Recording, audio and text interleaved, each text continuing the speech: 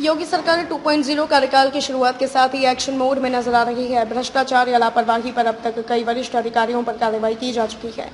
इसके साथ ही अफसरों की क्षमता के अनुसार शासन स्तर पर कई फेरबदल किए गए हैं। अब जल्द ही जिलों में तबादला एक्सप्रेस दौड़ने वाली है।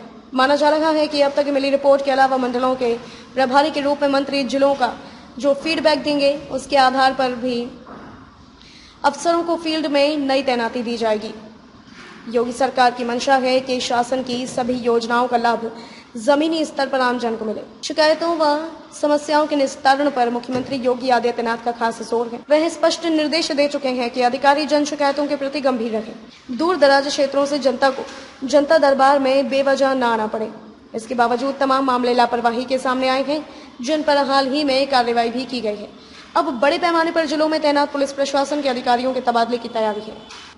दरअसल 18 मंडलों में मंत्रियों की अध्यक्षता में टीमें लगाई गई हैं। अधिकारियों के साथ जाकर मंत्री एक एक ज़िले का दौरा कर रहे हैं। वहाँ व्यवस्थाओं को देख परख रहे हैं।